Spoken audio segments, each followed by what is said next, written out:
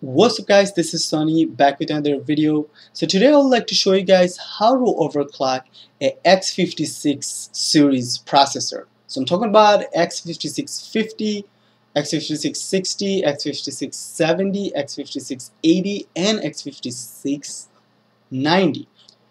So the reason I'm making this video today, because some of you were asking me, how can I overclock my X5650?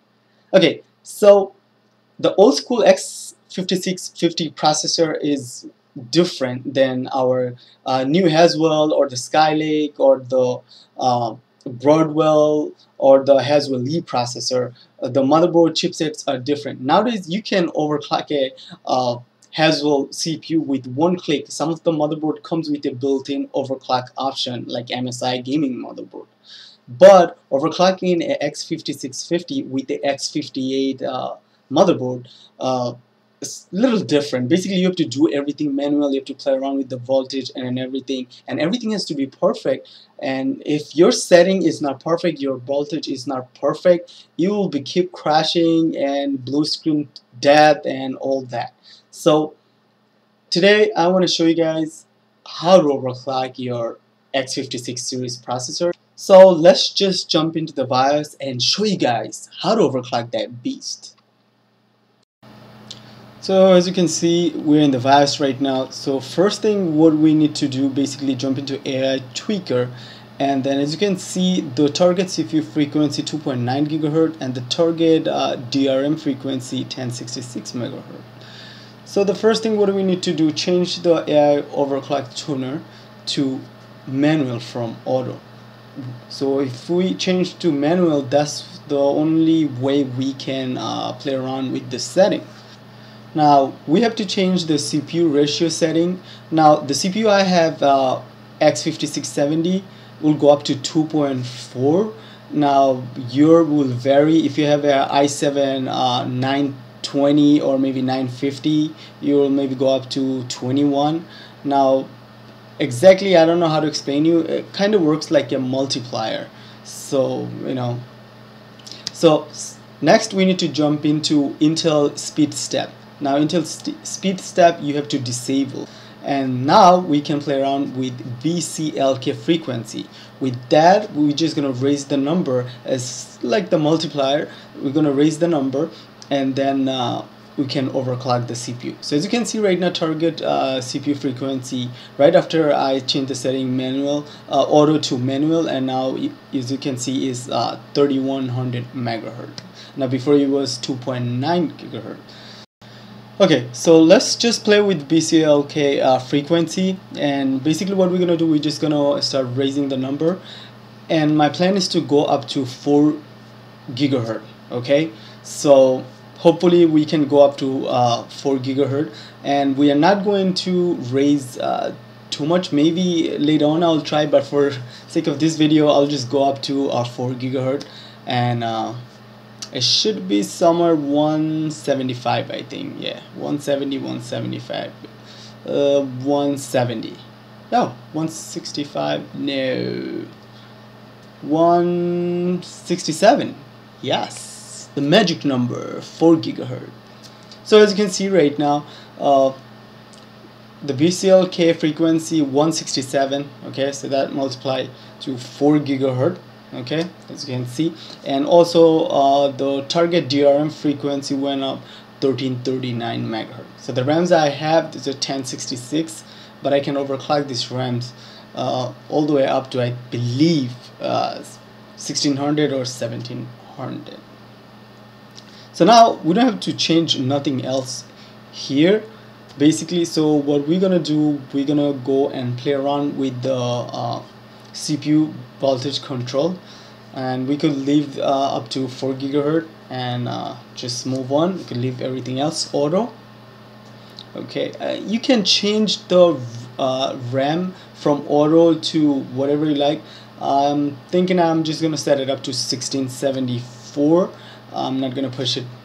So now we jump into CPU voltage control. Okay as you can see manual. Now thinking somewhere uh, 1.3 or 1.35 okay so you don't want to play around with the bolt too much. You want to stay somewhere maybe 1.35 1.36 max maybe 1.4 but that's just pushing.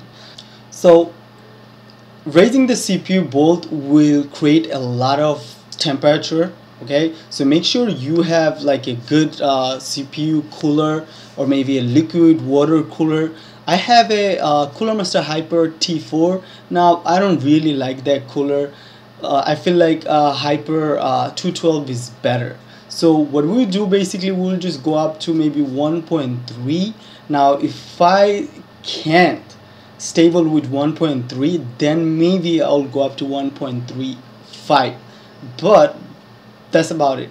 And also as you can see QPI DRAM core bolt uh, you know I left the same as the CPU bolt so you know it's okay. Now you can play around with the CPU PLL voltage.